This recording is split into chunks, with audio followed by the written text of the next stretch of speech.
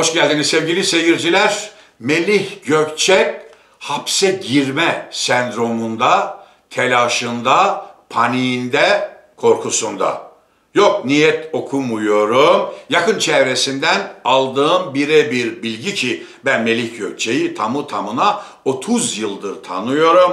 Ailesini biliyorum. En yakınları kimlerdir onları da biliyorum. Dolayısıyla yakın çevresinden bu bilgiyi almam zor olmadı. Peki diyeceksiniz ki Gökçek'teki bu korku, bu panik, bu kabus niye? hapse girmekten demin de söyledim. Sevgili seyircilerim, tabii sizin benim e, hapse girme diye bir endişemiz yok. Çünkü abdestimizden eminiz. Yani hapse girecek Allah'a bin şükür bir yanlışımız yok. Ama eğer hapse girecek bir e, yanlışın içinde iseniz böylesi korkularla yüz yüze olursunuz. Geceleri sabahlara kadar uyuyamazsınız. Peki nereden mi çıkardım Melih Gökçek'te ki böyle yanlışların varlığına? Tayyip Erdoğan'ın icraatlarından. Tayyip Erdoğan Melih Gökçe'yi niye görevden aldı? Evet bu soru meşrudur.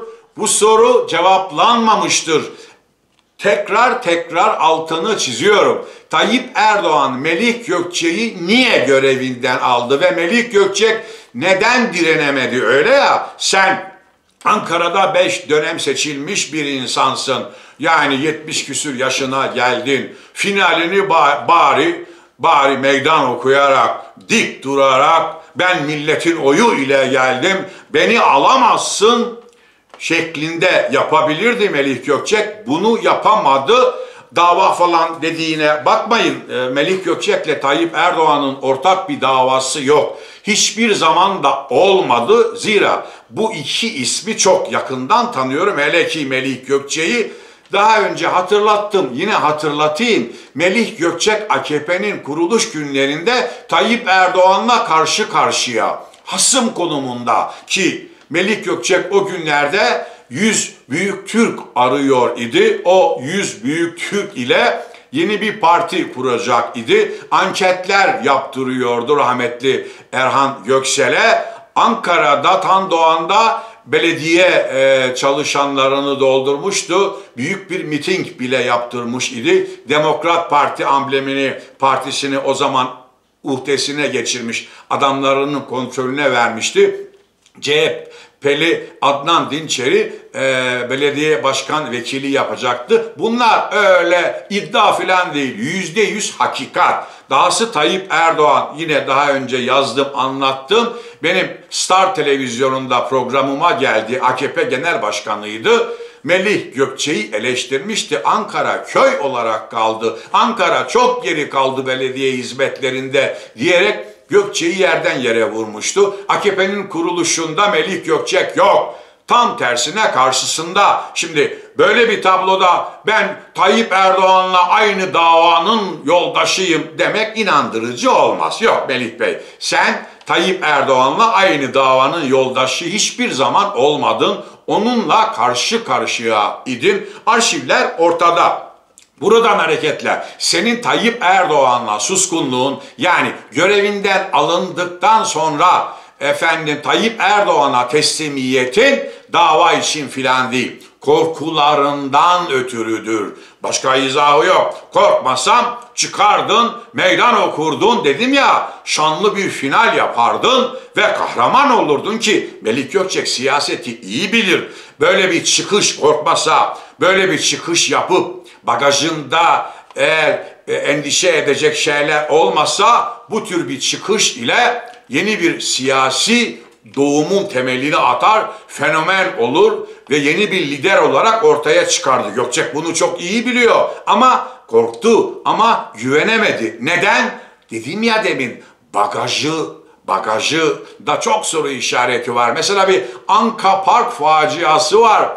Mansur Yavaş Dedi ki 750 milyon dolar para harcandı. Melih Gökçek gerçi 300-400 milyon dolar diyor ama velev ki 300-400 milyon dolar olsun. Yahu bir park park. Ne demek 400 milyon dolar ki gerçek elbette ben Mansur Yavaş'a inanırım. 750 milyon dolar Ki o park bugün çöplük halinde parkı işleten maaş veremiyor çalışanlarına. Ben Ankara'dayım 30 yıldır vallahi bir kere gitmedim gitmeyi de aklımın ucundan geçirmiyorum. Bir park yahu bir parka 750 milyon dolar yani 4,5 katrilyona yakın bir para eski parayla yahu 750 milyon dolarla Ankara'nın bütün altyapısı yenilenir. Ankara'da trafik tıkanmaya başladı. Adam yol yapmadı. Adam alt geçit yapmadı. Ne yaptı? Gitti park yaptı. Belli ki bu park noktasında iktidarın, sarayın, Tayyip Erdoğan'ın bile kafasını karıştıran şeyler oldu. Melih Gökçek'in önüne bunları koydu. O tür iddialar var. Süleyman Soylu'yu bile çağırdı zira Süleyman Soylu'nun emniyet istihbarattan dinleme tapelerini alıp Tayyip Erdoğan'a götürdüğü iddiaları da var. Sadece o olsa iyi. Ankara'daki pek çok anfa mesela başka bir facia gidiyor belediyelerin bütün ihalelerini bu belediye e, yapılanması olan anfaya veriliyor. Oradan Melih Bey istediğine dağıtım yaptı. Hadi yalan de Hülasa sevgili seyircilerim bir başka şey. Bakın ben söylemiyorum. Bülent Arınç söylüyor. Yüz küsür parsel peşkeş çekti, dinci cemaatleri ihya etti diyen kim? Bülent Arınç. O Bülent Arınç nerede? Cumhurbaşkanlığı Yüksek İstişare Kurul üyesi. Öyleyse Bülent Arınç'ın tezleri hala geçerli demek. Demin de söyledim Tayyip Erdoğan alaşağı etti. E şimdi Melih Gökçek ya FETÖ'cü ya ya da yolsuzlukları var. Başka Niye alaşağı etsin sevgili seyircilerim? Ha diyeceksiniz ki efendim niye yargılatmadı? Tabi yargılatmamasının başka başka nedenleri var. Çünkü böyle bir yargılama AKP'nin imajını da olumsuz etkileyebilir idi. Buradan hareket ile yargılatmadı. Ayrıca tabii Melik Gökçek e, yukarının sarayın bazı imar ricalarını da yerine getirmiş olabilir. Mesela Next Level. O tür iddialar da var. Doğruluğu, yanlışlığı sorgulanabilir. Tabi bu arada şunu da altını çizeyim. Burada Melik Gökçek bağlamında aktardıklarım yargı kararı ile e, kesinleşmediği için iddia kabiliğinde aktarıyorum. Ee, bunun da ısrarla altını çiziyorum ama bu sorular cevap arıyor.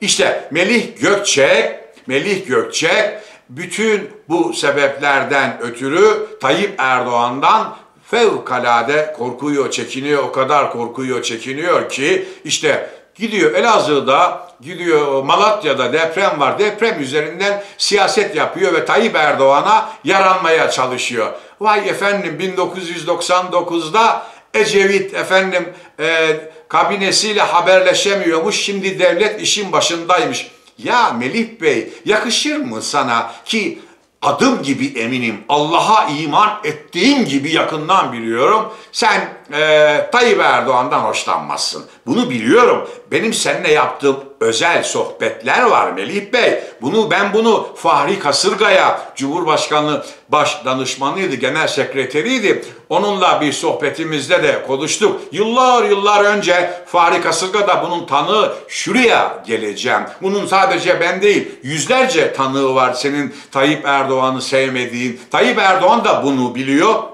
Buna rağmen belli ki mecbursun, belli ki mahkumsun ki eğer mecbur mahkum olmasan demin de söyledim. Meydan okur, ortaya çıkar ki Melik Gökçek sevgili seyircilerim. Öyle kendine yanlış yapanı affeden bir karakter değil. Kindardır, geçmişini unutmaz. Devam edeyim. Bakınız bugün elinde işte Beyaz TV var. O Beyaz TV aracılığı ile iktidara e, yine yaranmaya çalışıyor. İktidarın cazgırlarını oraya çıkartıyor. E, dedim ya korkuyor. En son yine hatırlayalım. Oğlu a, e, büyük oğlu Ahmet, küçük oğlu Osman Gökçek. Osman Gökçek'i ATO Başkanı kim yaptırmadı? Ben mi? Tayyip Erdoğan engellemedi mi? Yoklamalarda, AKP'nin iç yoklamalarında Osman Gökçek birinci çıkarken onu AKP milletvekili listesine koymayan Tayyip Erdoğan değil mi? Öyleyken sen Tayyip Erdoğan'la nasıl aynı dava yoldaşıyız dersin Melih Bey, nasıl onu çok seviyorum dersin. Belli ki çok korkuyorsun ama ama korkunu belli etme bu şekilde. Yani ergen çocuklar gibi ne olur ikide bir tweetler atıp kendi siyasi kariyerinde e, zora sokma. Arkanda iyi kötü bir imaj var. Onu bu şekilde sıfırlama. Şuraya geleceğim. Tabii e, Tayyip Erdoğan'ın olaya bakışı da enteresan. Melih Gökçe'yi görevden alıyor ama öbür tarafta Beyaz TV ayakta duruyor. Ya soruyorum sahi o Beyaz TV kimin? Osman Gökçek onun başında herkes Melih Gökçek ailesinin diyor. Peki o nasıl finanse ediliyor arkadaş? Bütün televizyonlar zarar ediyor. Melih Gökçek hayatının bir toplamında hep devletten maaş aldı. Ya o devlet maaşıyla gitti büyük oğluna Osmanlı Sporu aldı. Küçük oğluna Beyaz TV'yi adeta çocuklarım eğlensin bununla diye. İyi de o finansman, onun parası nereden? Kimse bu soruyu Türkiye'de sormuyor ve bu Melih Gökçek böyle bir tabloya rağmen ortaya çıkıyor, hala tweet atabiliyor, milletin karşısına çıkabiliyor. Yazık. Bizi izlemeye devam edin.